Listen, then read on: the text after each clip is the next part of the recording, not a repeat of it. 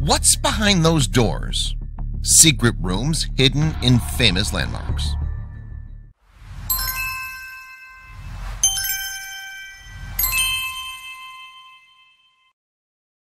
These landmarks are some of the most well-known and most frequently visited places in the world. But even with all that constant attention, there are some crafty corners that have managed to stay concealed. We've got the key to all these hidden gems, and we're ready to unlock some of the world's best kept secrets. Number 1. Crystal Palace Subways In 1851, the City of London came up with an idea.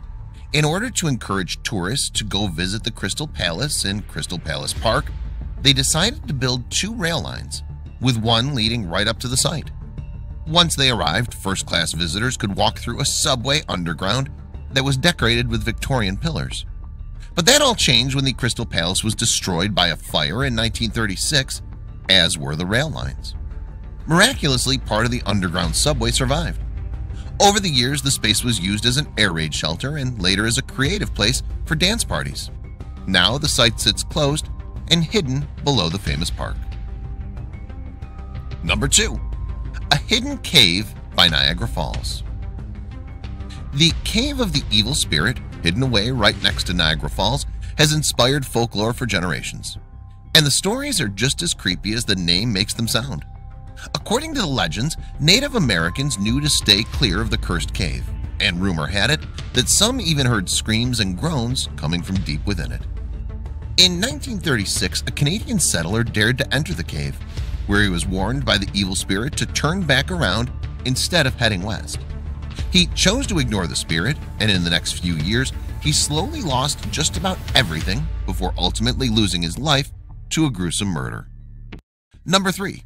Abandoned apartments in the New York Public Libraries Back when New York City's book hubs first opened, each needed a full-time staffer to tend to them.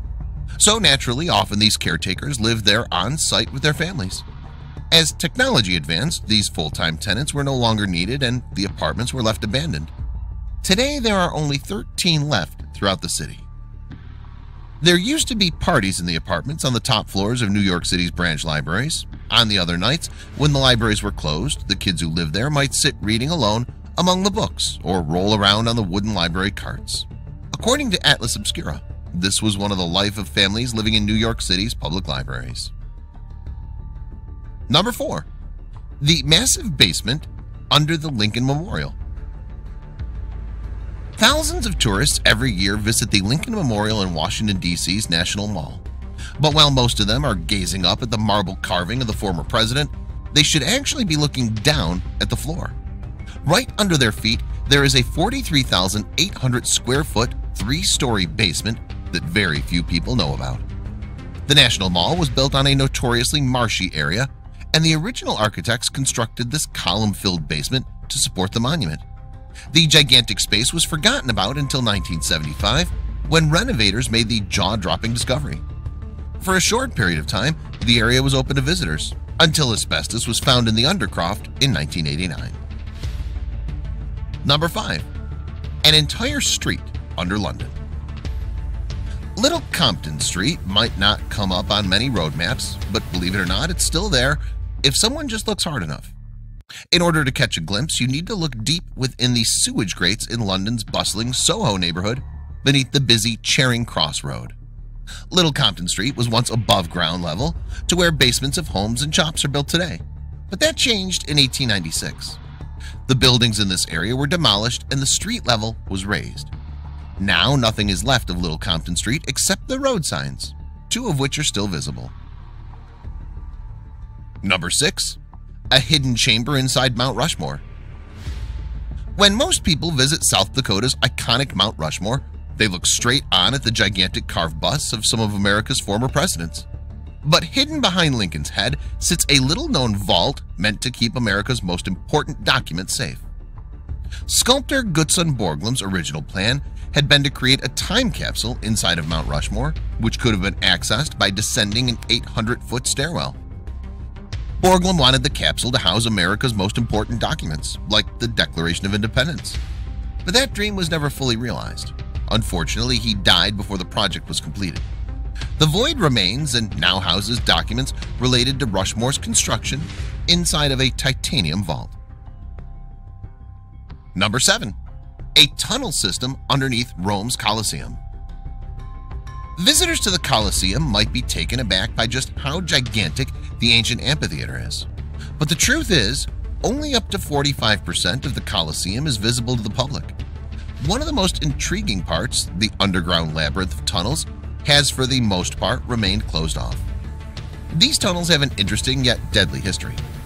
Back when the Colosseum was used for more brutal reasons, the tunnels would be where gladiators awaited their chance to battle.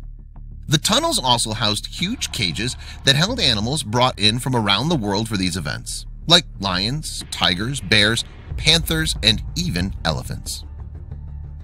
Number 8. A tennis court in New York's Grand Central Station One of the most beautiful tennis courts and one of the most beautiful locations in New York City is barely even known about by even the most avid tennis fans. Tucked away on the fourth floor of Grand Central Station is an exclusive tennis court that costs a rumored $250 an hour to rent. Before the space was a tennis court, it was used as an art gallery a CBS recording studio, and turned into a 65-foot ski slope. Yes, there was once even a ski slope above one of New York City's biggest travel hubs. Now, celebrities and the world's top players take advantage of these regulation-sized courts situated right at the top of Grand Central's famous facade windows. Number 9. A private apartment in the Eiffel Tower Having a home with a view of the Eiffel Tower seems like a dream for anyone, except for Gustave Eiffel. Instead, the architect who built Paris's most famous landmark had something else in mind. Instead of a view, why not just live inside the Eiffel Tower itself? So, Eiffel built himself an apartment a thousand feet above ground. As opposed to the hard metal structure, the apartment was decorated with paisley wallpaper and wooden furniture. Obviously, everyone wanted to stay, even for a night, in the enviable apartment, but Eiffel did not rent out his space and rarely even allowed guests except of course for Thomas Edison. Number 10. A crypt beneath St. Mark's Basilica Tourists coming to Venice are almost sure to stop by St. Mark's Basilica but only very few ever get to see the crypt buried below their feet. The crypt was built in 1063 with stunning columns and high vaulted ceilings and was the final resting place for some of the men who first established the church including St. Mark's own remains Water levels in Venice were immediately a problem in this crypt, and it was considered to be dangerous for years. Parts of the crypt are almost always covered in a layer of water, and the site has been open to the public only on certain occasions.